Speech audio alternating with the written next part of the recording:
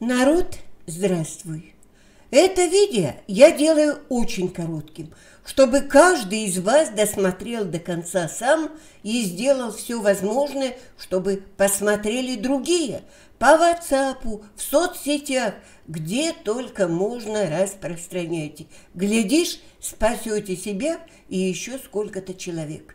Теперь совершенно ясно, чего так испугалась бесстрашная – и совершенно отвязная мадам Арбидол, почему она сделала попытку, бесполезную, конечно, попридержать Путина, который заявил о массовой вакцинации населения от COVID-19.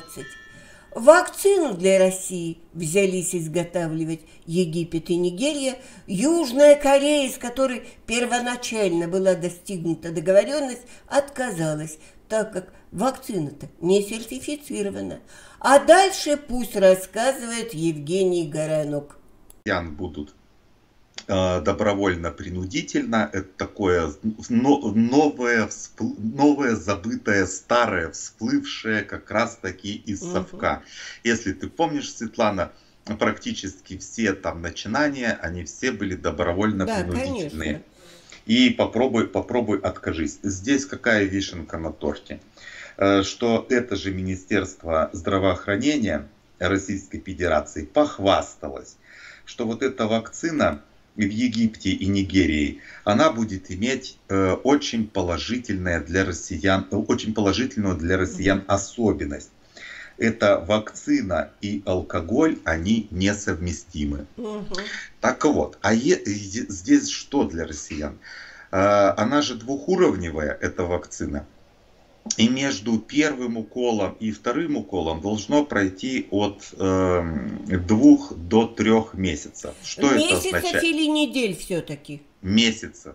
Месяц. Ты не ошибаешься, да? Может быть, что-то еще изобрели, но пока вот те да, вакцины, понятно. которые сейчас есть, они от двух до трех месяцев между первым и вторым уколом.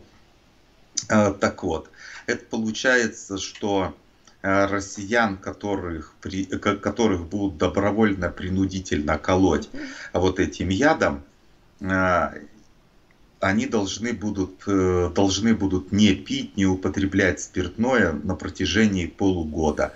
А если ты вдруг на протяжении, вот во время этих пол, полугода ты выпил, предположим, стопочку, и у тебя, у тебя выросла там чешуя или появилось э, пять новых хвостов, то тогда ты сам виноват. Ты же не выдержал режим, а вакцина здесь абсолютно ни при чем. Это еще раз характеризует то, как они, они еще не начали э, что-то гадить, а все последствия от э, своей вот этой инициативы они уже заранее перелож, переложили на россиян. Примерьте, пожалуйста, ситуацию к себе, к своим близким. Вы вот точно уверены, что ни вы, ни ваши близкие в течение полугода не подойдете к спиртному даже на социальную дистанцию. А вдруг подойдете? Я вот вам сейчас покажу один архиважный документ.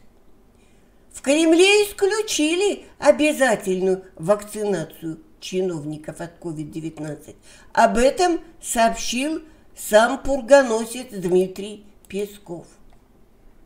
Под чиновниками народ нужно понимать не только кремлевских чиновников, но вплоть до муниципальных, надо полагать, точь-точь, как еще 10 лет назад поступали с вакцинированием от гриппа – в районе, где я жила, глава территории лично определял, кому в администрации можно вколоть вакцину, а кто от этой повинности освобождается.